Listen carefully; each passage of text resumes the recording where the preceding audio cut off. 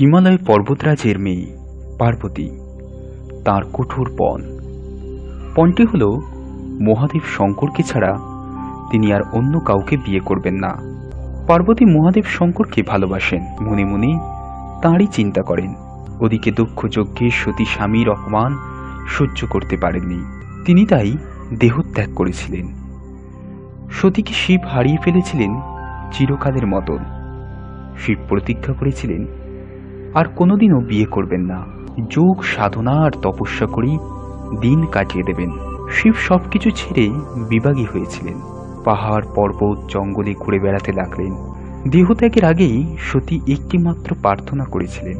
প্রার্থনাটি হল, পরের জন্মে তিনি যেন স্বামীরূপে আবার শিবকেই পান। সতী হিমালয় রাজের ঘরে পুনরায় মেয়ে হয়ে জন্মগ্রহণ করেছিলেন।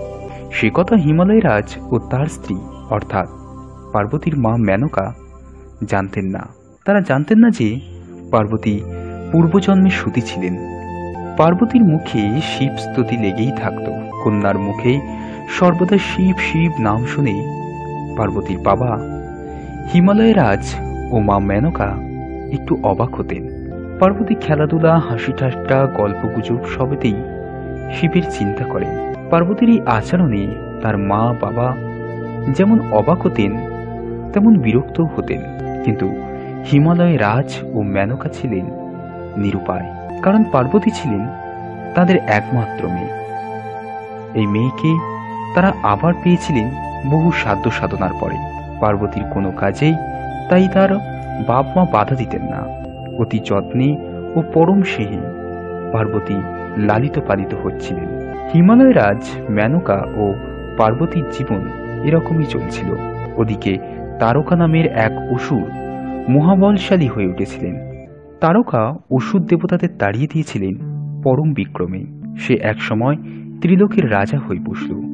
তারকাসুর শুরু করল দারুণ অত্যাচার। তারকাসুরের এই কুকাজে সহায়ক হল ওরই ছেলে আর অনুচরেরা। ত্রিলোকের সকলে তারকাসুরের অত্যাচারে অতিষ্ঠ হয়ে উঠেছিল। ত্রিলোকের কারোর সাধ্য ছিল না।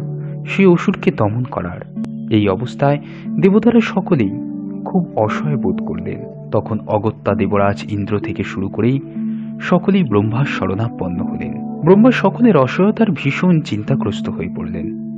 তিনি ভেবেচিন্তে দেবতাদের জানালেন মুক্তির একটা পথ। সেটি হল? তারকাসুরের অত্যাচারের প্রকোপ থেকে দেবতাদের রক্ষা করতে পারে একমাত্র শিবের ছেলে। দেবরাজ সে কথা শুনে তো ভীষণ হতাশাই হলেন। শিব যে বিয়ে করবেন না প্রতিজ্ঞা করেছেন। বনে, বাদারে, পাহাড়ে, শ্মশানে ঘুরে বেড়ান। তাহলে শিবের ছেলে হবে কি করে? ব্রহ্মা বললেন, সকলে মিলে চেষ্টা করতে হবে যে, যাতে শিবের সঙ্গে পার্বতীর বিয়ে হয়। তিনি আরও বললেন, শিব ও পার্বতীর ছেলে হবেন দেবতাদের সেনাপতি। যতক্ষণ না তা হচ্ছে, ততক্ষণ দেবতাদের তারকসুরের অত্যাচার সহ্য করতেই হবে। দেবরাজ ইন্দ্র বললেন, ভয়ানক বিপদে। কি উপায় ভাবতে ভাবতে তার মাথায় এলো কামদেবের কথা। একটা চেষ্টা করতেই হবে। তিনি কামদেবকে ডাকলেন, কামদেব, ইন্দ্রের বন্ধু। কামদেবকে ইন্দ্র সব ঘটনা খুলে বললেন বললেন, বন্ধু, তোমাকে একটা উপায় করতেই হবে। শিব পার্বতীর বিয়ের ব্যবস্থা যাতে কামদেব করেন ইন্দ্র সেই অনুরোধ জানালেন। এই উপকারটুকু সমস্ত দেবতাকুলের রক্ষার্থে কামদেবকে করতেই হবে। ইন্দ্র কামদেবকে এও জানালেন যে, শিব ধ্যানস্থ, তার ধ্যান ভাঙানো দরকার। কামদেব ছাড়া এ কাজ আর কেউ করতে পারবেন না। ইন্দ্রের বিনীত অনুরোধে কামদেব রাজি হলেন। তিনি তার স্ত্রী রতিকে নিয়ে শিবের ধ্যান ভঙ্গের উদ্দেশ্যে রওনা হলেন। এমন সময় শিব ঘুরতে ঘুরতে চলে এসেছিলেন হিমালয়। নির্জন এক জায়গায় চোখ বুঝে ধ্যান করছিলেন। সেই জায়গায় পার্বতী সখীদের নিয়ে রোজ আসেন। পার্বতী ধ্যান মগ্ন শিবকে ফুল দিয়ে পুজো করেন, তারপরে চলে যান। এমন একটি দিনের কথা পার্বতী ফুল দিয়ে ধ্যানমগ্ন শিবের পুজো করছিলেন। কামদেব স্ত্রী রতিকে নিয়ে সেখানে এসে হাজির হলেন। কামদেব ও রতির উপস্থিতিতে সেখানকার পরিবেশ বদলে যাচ্ছিল আশ্চর্যভাবে প্রচণ্ড গনগনে গরম ছিল। চারিদিকে যেন জ্বলে পুরো খাক হয়ে যাচ্ছিল। হঠাৎ বুঝি ঋতুরাজ বসন্তের আবির্ভাব ঘটল। বইতে লাগল, ফুরফুরে ঠান্ডা বাতাস। মিষ্টি হাওয়ার ছোঁয়ায় চারিদিকে তাপ গেল কমে গাছে গাছে ভরে উঠল মুকুল। আর সেই মুকুলের সুমিষ্ট গন্ধে বাতাস যেন আরও আকুল, আরও মন মাতানো হলো। গাছের ডালে উড়ে এসে বসল কোকিল। কুহু কুহু সুরে গাইতে লাগল বসন্ত বিলাপ। শিব চঞ্চল হয়ে উঠলেন। তার ধ্যান গেল ভেঙে। চোখ মেলে তাকালেন। দেখতে পেলেন সম্মুখে এক অপূর্ব সুন্দরী যুবতী নারী। তিনি আর কেউ নন। তিনি হলেন পার্বতী। শিব সুন্দরী পার্বতীর রূপে মোহিত হয়ে গেলেন। কিন্তু শিব ছিলেন যোগী পুরুষ। এক নিষ্ঠ যোগ সাধনায় তিনি মনকে বশে আনবার ক্ষমতা অর্জন করেছিলেন। মুহূর্তের মধ্যেই শিব বুঝতে পেরেছিলেন, এমন পরিবর্তন অন্তত তার হওয়ার কথা নয়। তবে কেন হলো? শিব ভাবলেন, নিশ্চয়ই কোনো রহস্য রয়েছে পরিবেশের এই পরিবর্তনের আড়ালে এই কথা ভাবতে ভাবতে যখনই তিনি পার্বতীর দিক থেকে চোখ সরিয়ে অন্যদিকে তাকালেন, তখনই দেখতে পেলেন কামদেবকে। কামদেবকে দেখেই শিব বুঝতে পারলেন, এসব তারই খেলা। সঙ্গে সঙ্গে শিব গেলেন প্রচণ্ড রেগে। দুরন্ত রাগে জ্বলে উঠল তার তৃতীয় নয়ন। শিবের তৃতীয় নয়ন থেকে অগ্নিবর্ষণ শুরু হলো। কামদেব বুঝতে পেরে পালাতে যাবেন। এমন সময় বিদ্যুৎ বেগে আগুনের হলকা গিয়ে পড়ল তার শরীরে। শিবের নয়নাগ্নি সেই মুহূর্তে কামদেব অর্থাৎ মদনকে পুড়িয়ে ছাই করে দিল।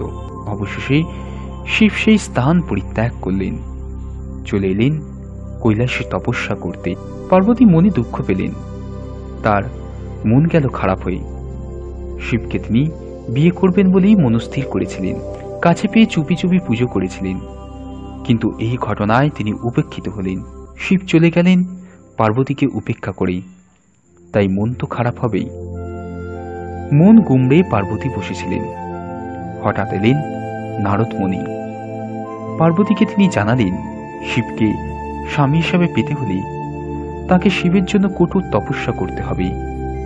তপস্যায় কি না হয়, নারদমণি পর্বতরাজ, অর্থাৎ পার্বতীর বাবাকে ডেকে বললেন, তোমার মেয়ের অনেক সৌভাগ্য। স্বয়ং শিব হবেন তোমার জামাই। শিবকে অনেক সাধ্য সাধনা করে পাওয়া যায় না। কিন্তু পার্বতী যদি তপস্যা করে, তবে শিবের ধ্যানের আসন টলবে নারদ মুনি হিমালয়ের রাজকে বললেন, তিনি যেন পার্বতীকে তপস্যা করতে যাবার অনুমতি দেন, যদিও বাবা হিমালয় রাজ রাজি হলেন। কিন্তু বেঁকে বসলেন মা মানকা, মায়ের মন। তিনি কিছুতেই রাজি নন যোগিনীর বেশে নিজের মেয়েকে দেখতে। শিব এমনকি সুপাত্র, তার জন্য মেয়ে কেন এত কষ্ট করবে? মায়ের মন বুঝতে কিছুতেই রাজি নন। মেনকা বললেন শিব ছাড়া ত্রিভুবনে আর কি কোনো ভালো পাত্র নেই। যে পার্বতীর স্বামী হবার যোগ্য পর্বতরাজ আর নারদমণি। দুজনেই অনেক করে বোঝালেন মেনকাকে। মেনকা কিছুতেই বুঝতে রাজি নন।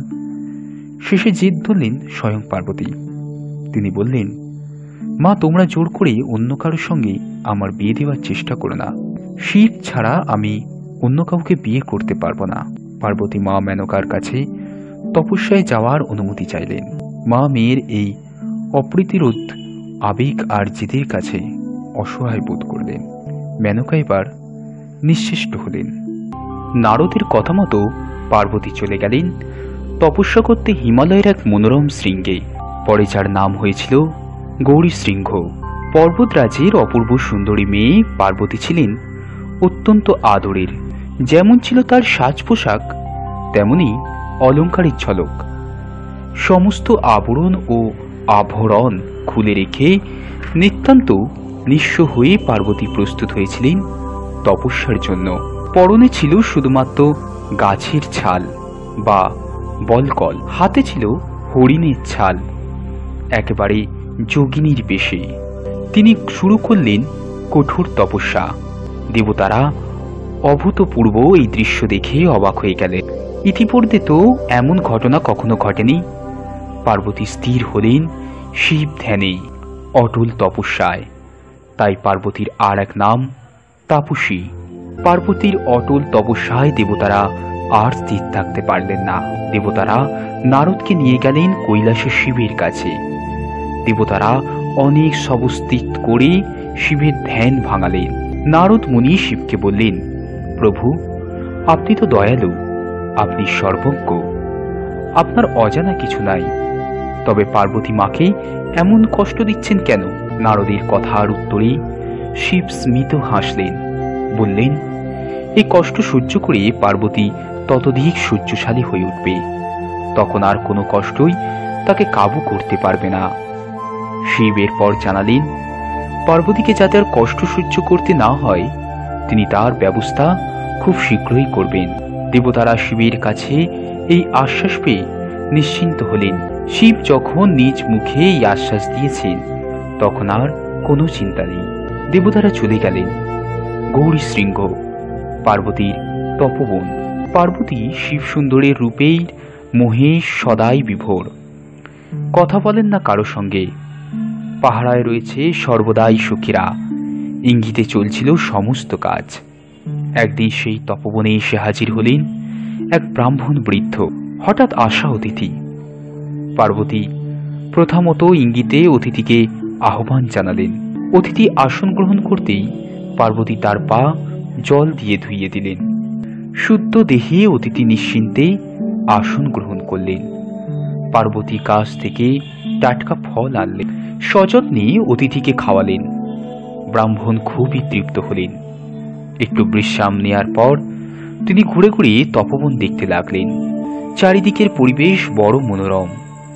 ফল, ফুল, গাছ, গাছালিতে ছাওয়া সেই তপবন বড়ই শান্তি আর আনন্দের স্থান। পার্বতীকে ব্রাহ্মণ জিজ্ঞাসা করলেন, এখানে তুমি একা একা কার তপস্যায় মগ্ন হয়ে আছো? পার্বতী নিঃশব্দে রইলেন।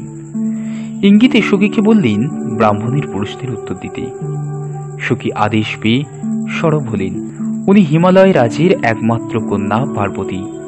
এই তপবনে উনি শিবের তপস্যা করছেন। উত্তরে ব্রাহ্মণ বললেন, আমার নাম জটিল। এই তপবনে একটি মেয়ে এমন কঠিন তপস্যা করছে শুনে দেখতে এলাম। তা মেয়ে, তুমি নিজ মুখে কথা বলছো না কেন? পার্বতী আর চুপ থা করে থাকতে পারলেন না। মুখ খুলে বললেন, সখী, আমার ঠিকই বলেছে ব্রাহ্মণ।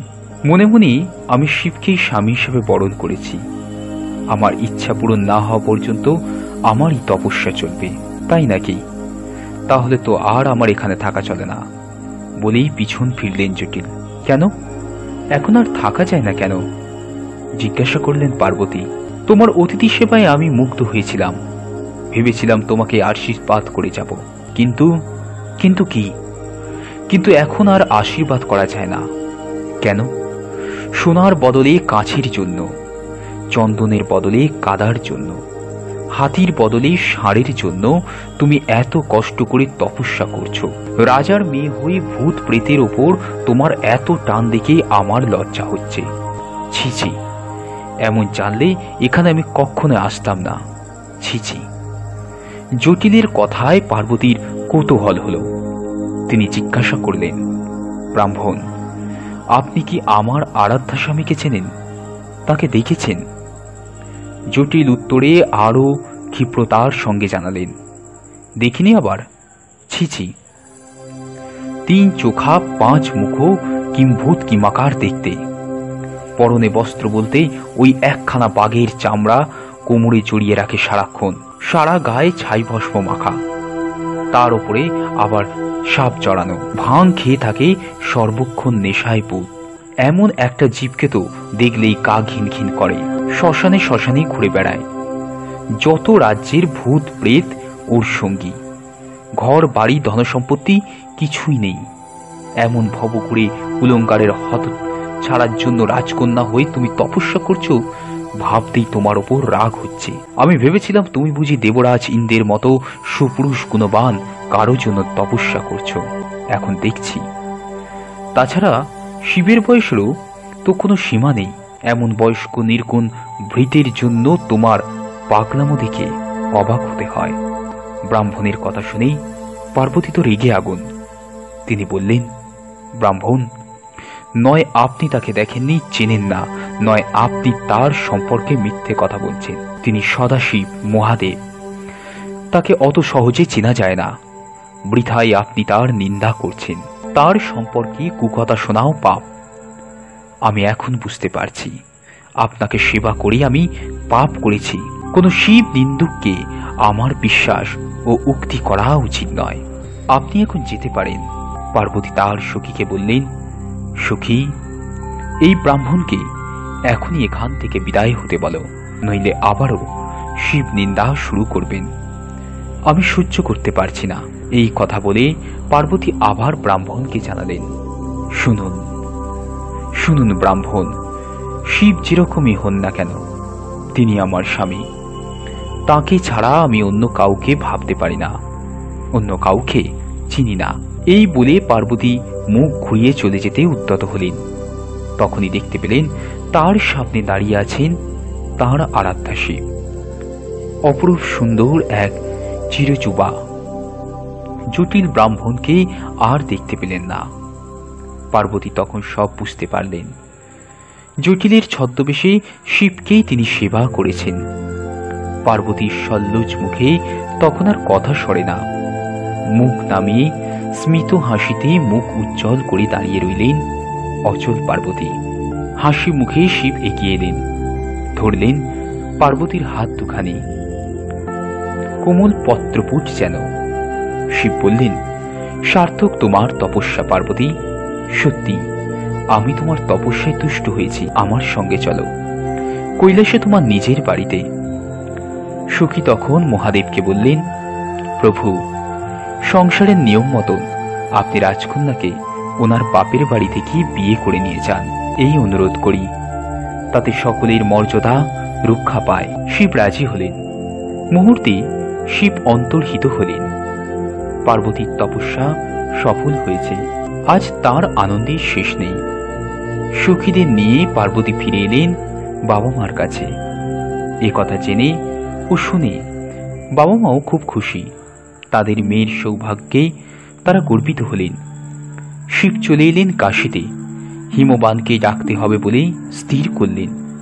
তার অনুমতি নেওয়া প্রয়োজন। শিবের মনে পড়ে গেল সপ্তর্ষিদের কথা।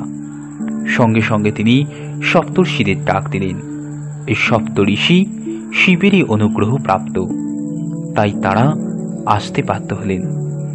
কি কারণে শিব তাঁদের ডেকেছেন, তা জানতে চাইলেন। আজ্ঞা করুন মহাদেব, আমরা কি করতে পারি? শিব জানালেন, হিমালয় রাজে মেয়ে পার্বতীকে আমি বিয়ে করব বলে বর দিয়েছি। আমারই জন্য সে এতকাল কঠোর তপস্যা করেছে। এই বিয়ের কারণে তারাকসুরের অত্যাচারের হাত থেকে দেবতা কুলকে রক্ষা করা। ব্রহ্মার বরে একমাত্র পার্বতীর ছেলেই তারাকসুরকে বধ করতে পারবে। তোমরা হিমবানের কাছে যাও, তাকে সব কথা খুলে বলো, তাকে বুঝিয়ে রাজি করিয়ে তার অনুমতি নিয়ে এসো।